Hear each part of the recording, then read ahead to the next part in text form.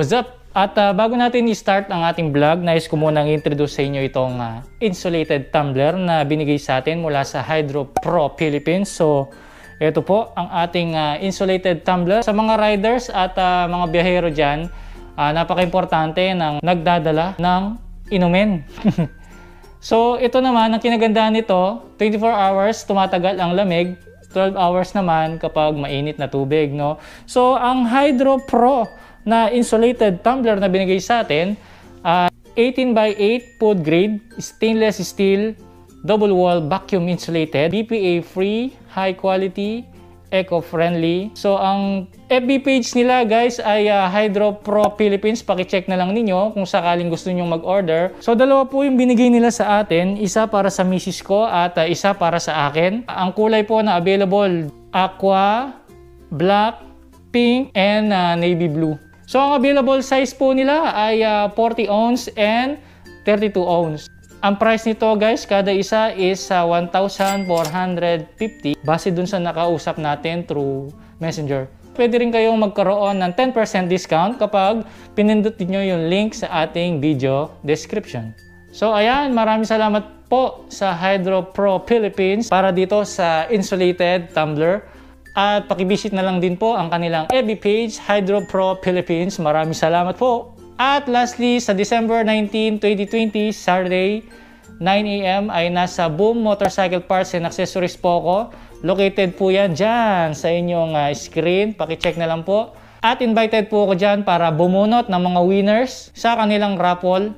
So yung mga bumili from December 3 up to December 19 ay uh, meron po kayong raffle entry mamimigay po sila ng helmet and uh, tube mask at um, hindi ko lang alam kung ano pa yung ibang ipamimigay nila. So guys, yung mga bumili sa Boom Motorcycle Parts and Accessories, please uh, pumunta na lang po kayo kung available po kayo para magkaroon naman po kayo ng chance. Baka sakali manalo po kayo ng helmet, di ba? Please observe lang po natin ang uh, social distance dahil uh, ayaw naman maging pasimuno sa pagbabiolate ng uh, health protocols. Alright guys, kita-kits sa December 19, Angeles City. Maraming salamat po. At uh, yun, pasok na natin ang ating uh, vlog patungkol sa Speed Tuner by uh, Mickey Mazzo. Alright. Alright guys, what's up po sa inyong lahat? At uh, ngayong araw ay uh, gamit natin itong ating uh, bagong motor na NMAX 2020 wow! or uh, ang pangalan po niya is uh, Mac Mac. Ayan at uh, kung nakikita ninyo ay uh, napakadumi niya dahil uh, sa panahon na nagbablog po tayo ay uh, umuulan po no? so ngayon ang gagawin po natin ay meron pong uh, nag-sponsor po sa atin ng panggilid para sa kanya. So ang tatak po ng uh, i-sponsor nila sa atin ay uh, Speed Tuner by uh, Sir Mickey Maso hindi ko alam kung kilala nyo si Sir Mickey. Ako kasi hindi ko rin siya kilala ng personal but uh, nakita ko lang siya sa isang trending na video sa YouTube ay sa YouTube sa Facebook no nung nagkarera sila nung isa pang rider no at uh, sa bundok po yun nagkarera sila. So hindi ko lang alam kung sino nanalo no? Hindi ko na panood kung sino yung nanalo doon. But uh, nagtrending kasi yun kaya tumatak sa isip ko kung sino ba si Sir Mickey Maso no? So malupit na rider ah. pero hindi ko siya personal nakilala. So yun at uh, meron siyang reseller yata or uh, supplier dito sa Pampanga. So pupuntahan natin siya ngayon para makita kung ano ba ang uh, improvement kapag nagpalit tayo ng speed turner na panggilid ano? Mali! So sa ngayon stock po ang ating uh, NMAX 2020 wala pong binago sa makina at sa panggilid. So ito pa lang yung first time na magpapalit tayo ng full set ng panggilid ano? pero bago yun ay uh, ira-ride muna natin siya ng uh, stock para makumpara natin kung may nagbago ba after natin magpalit ng panggilid.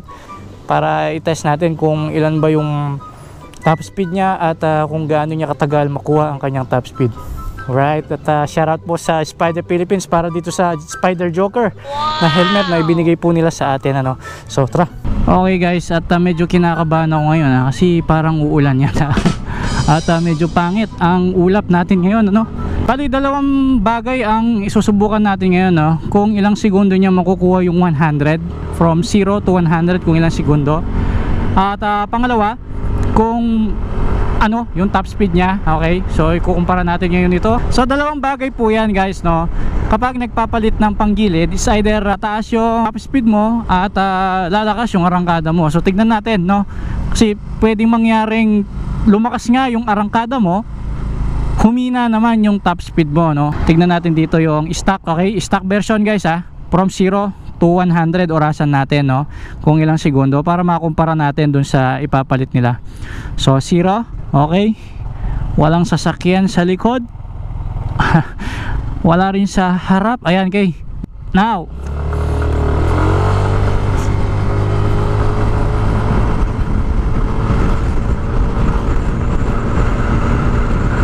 Yes, 80. 90 na. Okay, 100. Ayan. At ah, 100 po siya. Ilang segundo kaya hindi ko nabilang. At at tignan nyo na lang sa inyong screen, no? Pabuti lang natin ng 120. Kung kakayanin. Malakas pa naman ang hangin dahil ah, uulan na. Hindi, kunin lang natin to. Para pagkatapos eh, iset na natin yung panggilid na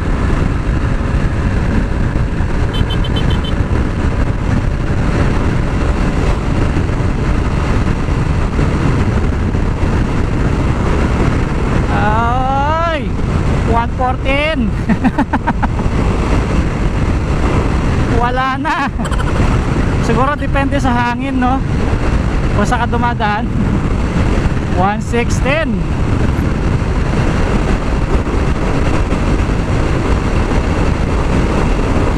Hanggang doon lang siya. 117! Yun na. Ayaw na talaga.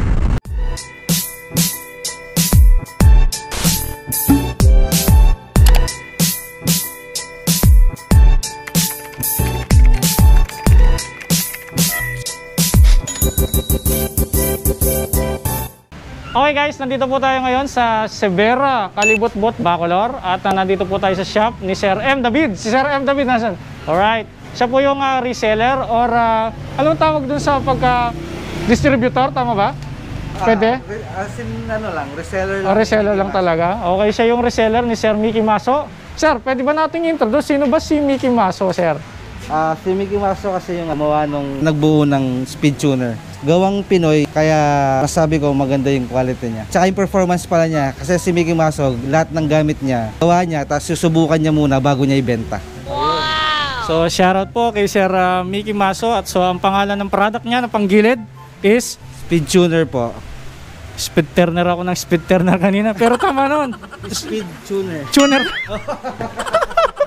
mali ayun so si Sir Mickey Maso ini-sponsoran niya tayo siya ba yung nag-sponsor ikaw sir? Oh, si Sir Mickey Maso talaga yung ano. Wow, Sir Mickey, kung napapanood mo ito, maraming salamat po at ah, pakita ko sa inyo, guys, yung mga ip- ini-sponsor sa atin ni Sir Mickey Masora. Okay, so ito po ang ating ah, wing bell at ah, dry face, ah, pulley at saka backplate.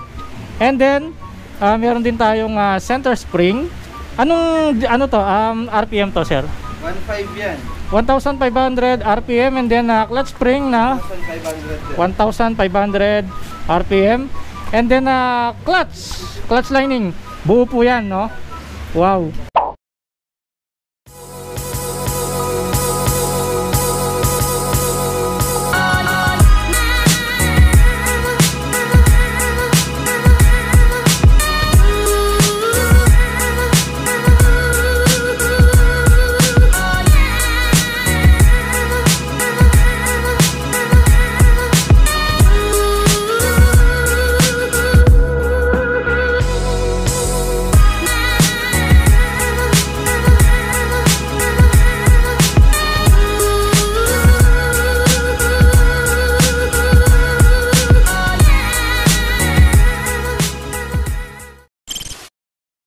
Alright guys, ayan, natatapos nang may install ang ating ah, full set na panggilid ni Sir Ems na in-sponsor ni Sir ah, Mickey Maso. Ayan, shoutout po sa inyo, Sir. At ah, tanong muna natin kung magkano ba kada isang pyesa, di ba? So, tingnan natin, oh, tanong natin sa kanya. Sir, ah, una sa lahat, ang napalitan, Sir, is yung dry pace, Sir. Magkano yung dry pace natin, Sir? Isang set ng fully drive base na version 2, pang NMAX Xerox lang meron, is 2.5 sa dalawang to. May kasama na siyang ano, may kasama na siyang backplate. Okay, 2.5 dry pace and pulley with backplate na, no, Sir? So, pinag-usapan na rin natin yung kanyang pulley. Siyempre, meron yung bola, di ba? So, magkano yung bola natin dyan, sir? Bali yung mga bola natin, ah, 350. Isang set. Sir, tanong ko lang, yung timbang, depende ba yung presyo sa timbang o pare-pareho lang? Para pareho lang po. Okay, pare-pareho lang. Okay. Ano pa yung napalitan sa atin, sir? Is yung bell, wing bell. Okay. Yung wing bell natin, ito kulay pula. At ah, magkano yan, sir? 2,000. Reinforced wing bell. Ah, wala siyang kooblong kasi nakasapi na siya.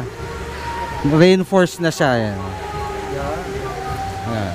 Okay, sir. At ah, pagkatapos is yung ah, set ng clutch lining natin, sir. Kaso wala siyang stock ngayon dito dahil naisal naisalpak na natin sa motor natin. So, magkano ba yung full set ng clutch lining, sir? Bali 1,750. Kasama na yung plate tsaka yung spring.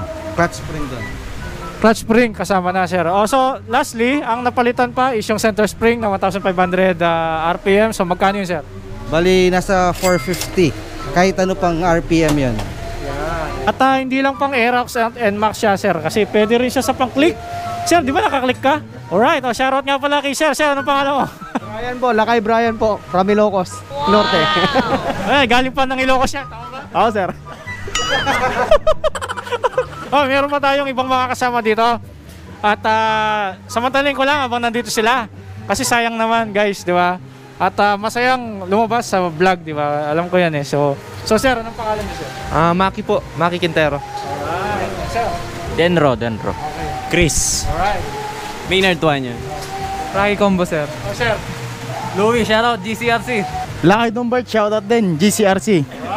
Nais ko po palang batiin si Norman Alipio from Guagua, reseller ng Guagua Speed Tuner.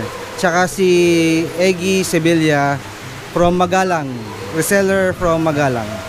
I-test ride na po natin ang ating ah, Mac Mac 155 at uh, natin kung ilang segundo niya makukuha yung 0 to 100 and then kung umangat ba ang kanyang top speed, okay? Okay guys, itong vlog natin ngayon ay separate vlog po siya no? Hindi ko siya ginawa ah, sa isang araw. Ayan so itong motor na to ay ginamit ko ng ah, isang linggo ayan isang linggo ko siyang ginamit araw-araw para masabi ko yung yung break-in period niya is ah, medyo sapat na no? Kesa naman yung pagka-install niya is hatawin natin kaagad. So ito tara at ah, tignan natin kung meron bang nagbago. At ah, bago yon ah isabihin ko muna kung bakit pumayag ako na i-set up ang kanyang panggilid. Bali si Sir M. David kasi ay ah, nag-PM sa atin na Sir Reed sabi niya ganoon baka gusto mong i-upgrade ang kanyang panggilid no gamit ng ah, speed tuner. Nagaling kay Sir Mickey Maso. So, sa previous vlog natin, ang nasabi ko kasi kung talagang gusto mo ng mabilis na motor, eh, bumili ka ng big bike. Talagang ah, walang duda mabilis ang ah, big bike ano. Pero sa akin naman kasi since panggilid lang naman ito no eh, panggilid lang naman yung pinalitan eh pwede pang ibalik sa stock no lalo na yung stock parts dito ay ah, nasa bahay lang no? At ah, kaya ko naman i-install to kahit ako lang mag-isa. Pero pagdating sa makina never never tayong mag mag mag-upgrade. Dahil uh, gaya nga sabi ko talagang gusto ko ng mabilis eh bili tayo ng mabilis na motor no? At ah, itong vlog na ito ay tamang tama sa mga interesado no? Na mag-upgrade ng kanilang panggilid lalo na sa mga Aerox, NMAX Click. Ayan ah, yun kasi yung mga scooter na sikat ngayon at ah, minsan ayaw nilang mag-upgrade ng makina. Kinukuha na lang nila sa pag-upgrade ng panggilid no? So ako naman ito tamang tama at ah, may naging sponsor sa atin at ah, mabigyan ko kayo ng idea kung ano nga ba ang ah, magbabago. Kapag nagpalit ka no? Especially speed tuner ang tatak no? So isa ito sa mga sikat na brand ng panggilid ngayon at uh, syempre marami na rin nakakilala kay Sir Mickey Masa alright guys. At ah, ito ngayong uh, naka-idle tayo no? Wala namang kakaiba sa kanya no? Pagkatapos natin mag-upgrade. Okay. So, same pa rin naman. At ah, ang kinaibahan lang no? Pagkalagay ng speed tuner sa motor natin. Talagang unang-una mong mapapansin guys is yung arangkada niya no? At ah, So yung clutch na inilagay dito is uh, clutch spring actually. Clutch spring na inilagay dito is uh, 1500 RPM at yung kanyang center spring gaya ng vlog kaninang uh, na unang part ng vlog natin is uh, 1500 RPM din ang kanyang center spring no So, hindi ko alam. Pero baka iikot muna ng 1,500 bago bumuka yung kanyang clutch assembly or clutch lining assembly, no? Kaya naman na maganda siya sa arangkada dahil iikot muna ng mabilis ang uh, iyong pulley bago kumapit, no? So, kung medyo nagigets ninyo yung sinasabi ko, ah, talagang malakas yung puwersa niya no isipin mo niya yung tatakbo muna ng mabilis yung pulley bago kumapit sa ating wing bell eh talagang malakas yung puwersa kaya pagka inarangkada mo eh magugulat ka no? Kahit ah, stock engine lang ang ating ah, motor. Meron pa akong mga ibang vlogs na sponsor kaya lang hindi hindi ko pa mabigyan ng ah, panahon dahil ah, once a week lang tayo nag-upload sa ngayon ano? So hintayin nyo rin. Darating din ang araw kapag ah, medyo nagkaluwag-luwag tayo. Twice a week na tayo mag-upload. Or ah, every after 5 days meron tayong bagong upload okay?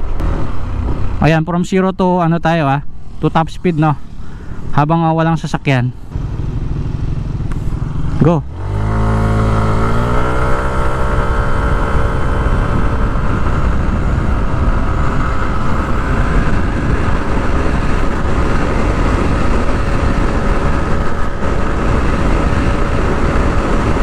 Yun 100 ayan. Nakita nyo ilang segundo. Ah, sa tingin ko ha mas mabilis niyang nakuha yung 100 kumpara nung kanina na stock ang ating motor. Ayan nag uh, 114 150 na siya. At ah, 116 117 118 119 aray ko aray ko! Nauntog ako! Ipalo mo ng 120 120 ayun 120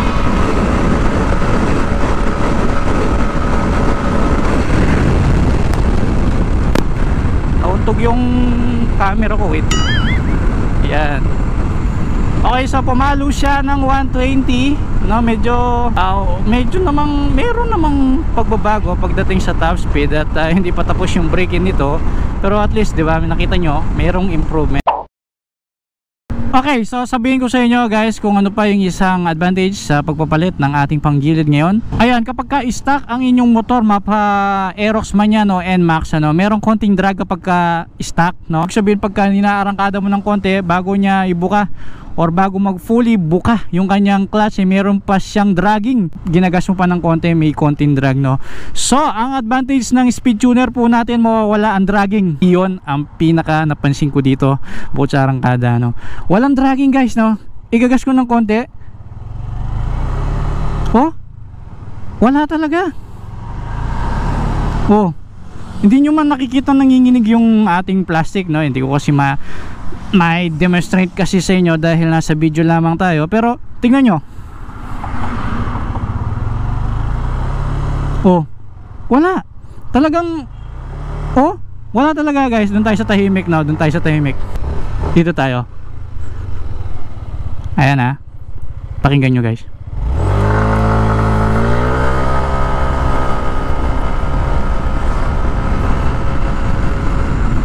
Dinig nyo ba?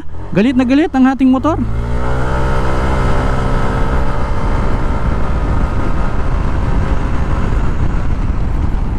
Ang smooth ng arangkada simula pagpihit mo ng ating uh, silinyador.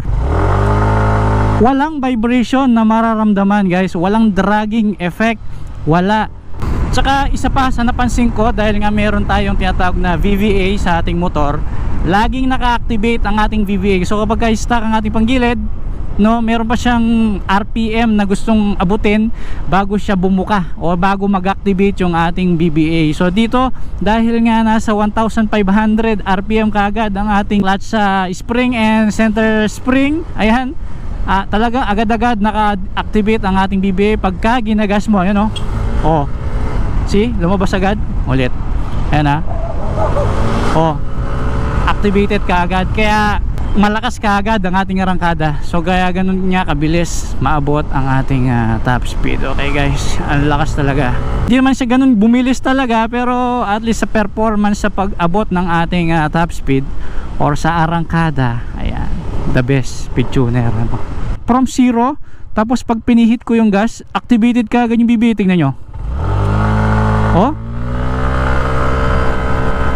Okay, syempre kapag may advantage, syempre hindi naman hindi naman perpekto ito ang ating ah, speed tuner no. Talagang wala naman kasing taong perpekto guys eh. So sa gawa, wala naman pwedeng sabihin na perpektong gawa ano. Lalo na iba't ibang tao ang gagamit nito.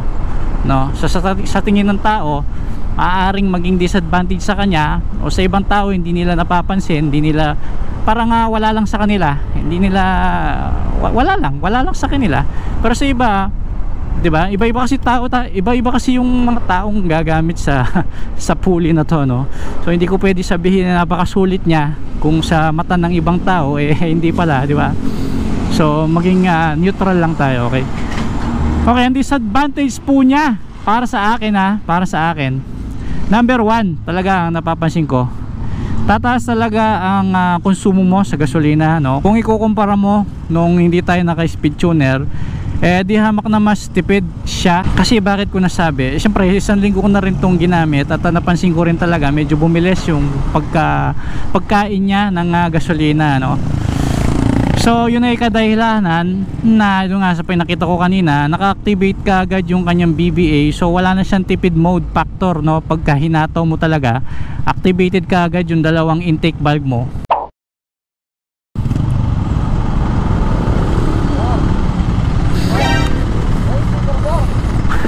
Ay subscriber ko pala.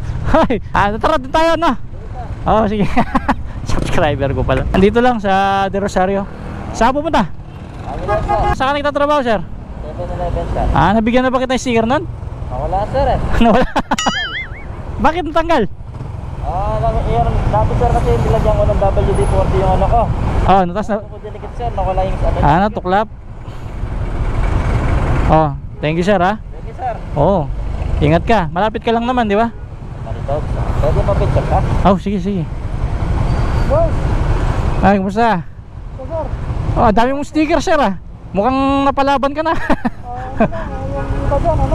ah, mga riders, gano. Oh, wait lang, pa-picture lang sandali si sir. Yun, shoutout sa Spider. Thank you, thank you. Okay. Papasok kang trabaho? Pauwi na sir. Ah, pauwi na. Okay, sige, ingat ka. Salamat. Ano pangalan mo, sir? Ano pangalan mo, sir? Jerwin Balyo sir. Sir Jerwin. Oh. Oh, ito sticker mo, sir, oh. Dagdag mo sa mga koleksyon ng motor mo. Mukhang malayo pa ang biyahe mo, sir, ha? Saan ka pupunta? Pangitapla ako dito sir. Kami kami. Ingat ka, sir, ha? Salamat, ha? Salamat. Ingat. Ay, eh, nagbablog lang ako, kaya... Nakikita ko sa vlog ko eh. Pag nahuli ko to, lang. Salamat, sir, ha? Tara, tara. Tara, sabay tayo. Ah, dyan ka lang. O, mauna na ako no, sir. Tuloy na ako. Bye-bye. Hi guys, ngayong araw ay ah, may pinadalang motor sa atin dito na ang tatak ay ah, Kimco AK 550 180 mo! 180! Ayan guys, 180 Alright Yan po yung top speed natin sa ngayon Hoy, welcome to Olongapo Alright Ayan nga, patingin nga Paano kayo bumangking? Sige nga, sige nga Huwag kayong magka-counterflow ah. Sige nga, sige nga, pakitangan nyo nga ako ng gilas nyo. Yeah, yeah. Ah, ah, ah, ah wow. Wow, galing ha. sir, anong pangalan mo, sir? Edward sir. Sir Edward, okay. Oh, thank you ha. Thank you sir. Yung sticker mo, dikit nyo yan ha. Salamat ha. Ingat sir, ingat Oh, thank you, thank you.